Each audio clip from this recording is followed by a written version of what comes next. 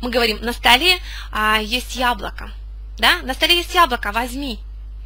И когда мы начинаем переводить прямо, да, на столе есть яблоко, тогда выходит неправильный порядок слов. Мы говорим on the table is an apple.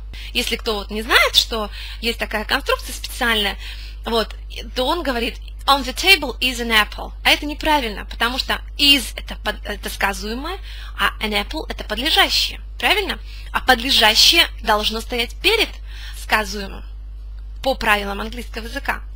Вот именно поэтому, вот это, когда мы хотим сказать, э, на столе есть яблоко, мы скажем on the table there is an apple. И тогда вот это there is выполняет функцию как бы как подлежащее, понимаете? On the table there, there, there is an apple. Оно его как бы как переворачивает, это предложение. Тогда оно звучит правильно.